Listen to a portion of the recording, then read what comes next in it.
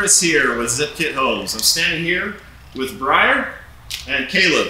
These guys are going to put this deck on this house. This is the Columbia model, and we're putting a deck that goes out over the garage. I'm Jamie. And I'm Chris. We build modern, efficient kit homes really fast. Follow us as we show you a better way to build.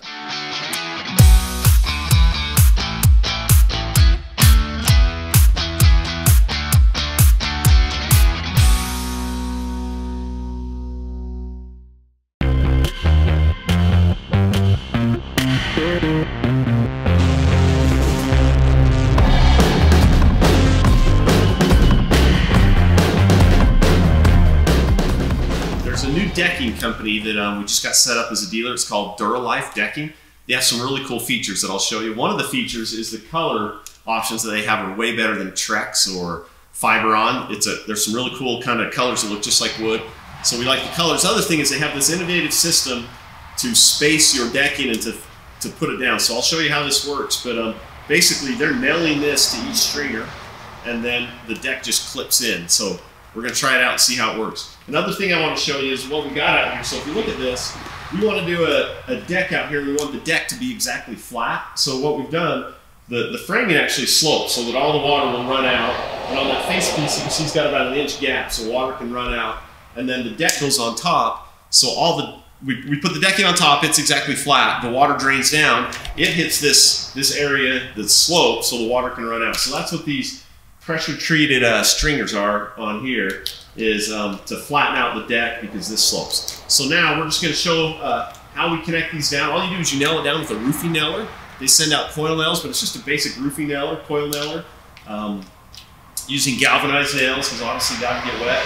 We're just to, it's, it's important that we start it right on in the beginning so we chop the chalk line so we know exactly where each one of these little black things go. They're going to nail it on and then we'll show you how everything goes together.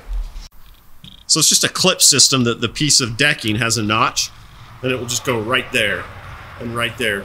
The old way of decking I've done a lot is where you have to actually space each piece, so you've got a nail or a spacer, and it's kind of a pain to do it.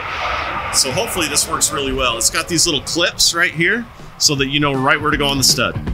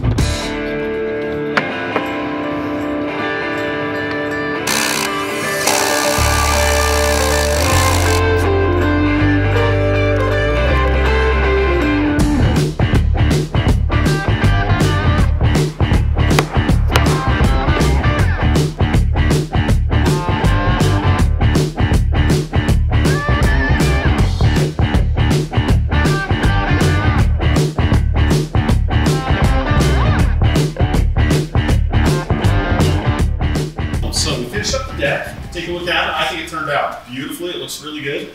We had Briar and we had Caleb working on it. They probably put, I'm just looking at my watch, they were probably about six hours put down that 300 square foot deck. It's the first time we've used this system, so there's a little bit of figuring out what works and what doesn't. But um, all in all, it went pretty quick. So um, I'm going to show you a couple things here. So if you kind of zoom in on this, this is the clip system. So you put this whole clip we showed you goes over the joist, and then these just clip on. So um, Briar, what did you think of the clip system? Uh, it's a whole lot easier than putting on a traditional deck. Why is it easier? What makes it easier? Uh, you don't have to screw every joist. yeah. Yeah. And gets your gapping exact Yeah, too. gap, right? gapping's perfect on it. And, and when we go look out of the deck, you'll see there's almost no fasteners. So you're clipped in, and there's all the fasteners on the on the clip. But what you see from the top is almost no screws at all. So that's pretty cool. Caleb, what do you think of it? I thought it was really slick. You thought it Went- worked pretty went- slick, huh? Went up really quick. One person could snap it in. A couple things we learned. So when we got this, it said use a roofing nail gun to nail these plastic things down over the top of the joist. So we just put one in the middle, but then we found that doesn't work as well. So then you guys would put. Show me where you would put the nails when you did this. Uh, we'll put one on each edge next to where it clips in. And that worked a lot better, right? Yeah. So when we had one in the middle, this was just a little bit too flexible in the middle. It wasn't connected that good. But when we put a roofing nail close to the edge like this, Yeah, it made made it more more stiff. so made the whole deck a lot stiffer. So that worked pretty well, right? So one of the things we do want to talk about the expansion and contraction. So we'll show you out here when you have a butt joint, you're supposed to gap it about 3 16ths of an inch. And that's because this is a it's a wood plastic core. So it's made out of plastic, like it's actually recycled plastic like milk jugs, and then a bunch of wood fibers mixed together. But this, because it's got plastic in it, it will expand and contract. So they say when you're doing a butt joint, meaning like this, you're actually supposed to gap it like 3 16ths of an inch. And we gapped everything about 3 16ths. Yep. And we did it when it was cold. It was snowing here this morning in June. But um, as we did that, now we'll go look at it where the sun's shining on it. It's tight, so there was no gap. In fact, I was teasing Briar saying, "Dude, why didn't you gap it?"